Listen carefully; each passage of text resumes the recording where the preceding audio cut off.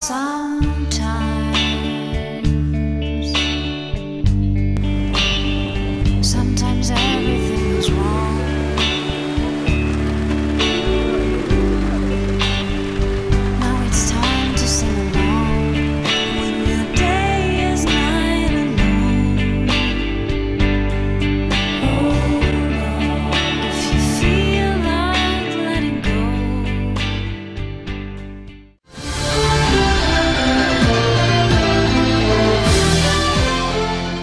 A agência bancária do Sicredi de Mariana Pimentel foi alvo de criminosos no início da tarde desta sexta-feira, 6 de abril.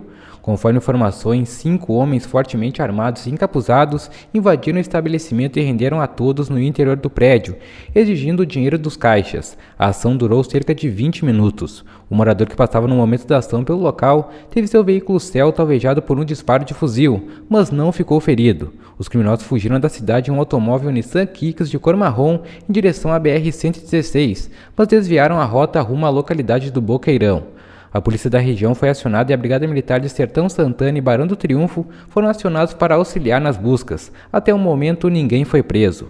Em caso de informações, acione a Brigada Militar no fone 190 ou a Polícia Civil no fone 197.